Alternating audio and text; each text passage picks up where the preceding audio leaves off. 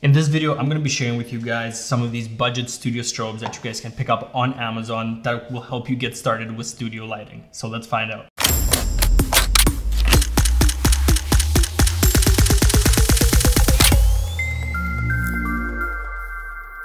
How's it going guys? Welcome back to yet another video. My name is Andrei, if you don't already know. In this video, I wanna share with you guys some of the budget strobes that I've been using in my studio and some of these budget strobes that can really get you started in studio lighting. So right here, I have the Neewer N250 watt W strobe. Um, these are actually fairly inexpensive on Amazon. They're quite cheap and they're quite powerful. So what do you get in the box? First, there are a few different types of kits.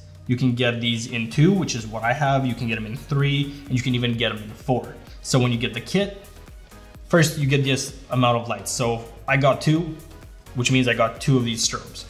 Alongside these strobes, you get two light stands. You get two soft boxes, Neewer, beautiful. And along with the soft boxes, you also get two or three umbrellas, depending on the number. You get a little trigger for your camera. These are universal and you can just literally put it on your hot shoe and you are ready to go. And then in order to get these triggered, you need transmitters from the lights. They each come with a little transmitter that is simple plug and play right into the sync port. They're actually very powerful. They start at a power of 10 and these ones go all the way up to 60 and um, they're very, very good for what they do. But for a lot of newbies that are getting started with studio lighting, they don't know some of the basics. Okay, so some of the basics for studio lighting when you're getting strobes like these is that they automatically go based on your camera sync speed. So when I first got these for roughly $200 about two years back, um, I was using a Nikon D3400. With that Nikon, the sync speed was 1 180th of a second. If I shot any faster, I would get a black bar across my images. So just for reference, these are some of the images I was able to pull off with these strobes. This is a self-portrait I did on a black background, and this is another self-portrait that I did uh, against a tinfoil background and I lit it with a blue gel. Because these are so powerful, you need to understand a few things. You can't shoot at a shutter speed faster than one 200th of a second, because again, you'll be getting that black bar, because that's the camera sync speed. So in order to be able to use these and to maintain a proper exposure, shooting at the lowest ISO possible, you probably have to shoot at f8, f9, f10, f11, like I did with the shots that I showed you previously. Another way to really understand these, if you really want uh, to use a shallower depth of field, is the inverse square law when it comes to light. So the further away, the less power uh, and light that you will get on your face. So if I were to move this key light that I have next to my face, if I were to move it double the distance, I would, use, I would lose half the power. However, there are alternative ways of using these strobes with shallower depth of field. Um, the ways that I've been using it lately is I've been treating these as slave flashes when I've been doing my headshot photography. So I actually use a Godox AD200 with a trigger and everything with my Sony a7 III. I did videos on that so you can check it out.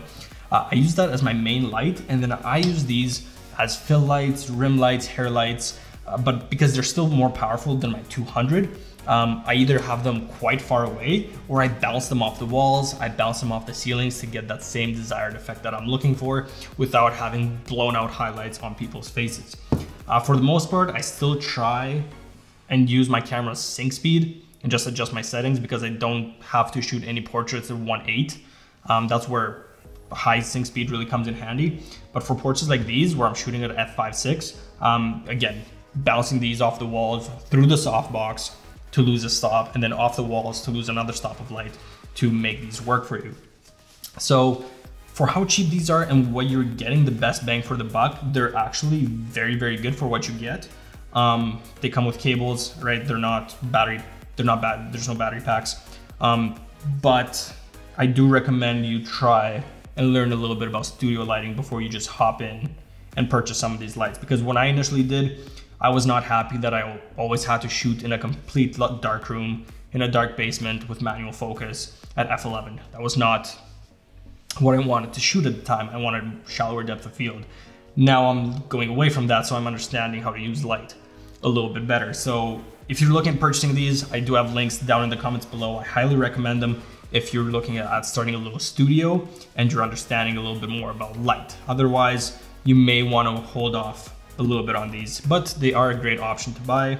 And I highly recommend these for, you know, amateur photographers, people who are just looking at getting into studio photography.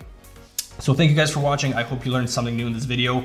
Um, check out my Instagram, check out my website. Definitely subscribe to the channel because there's a lot more good content coming um, fairly, fairly soon on the channel and I'm super stoked about it. Lots of good stuff. So definitely make sure to subscribe and hit the notification bell so you don't miss any of that. Again, thank you for watching and I will catch you guys in the next video. Peace.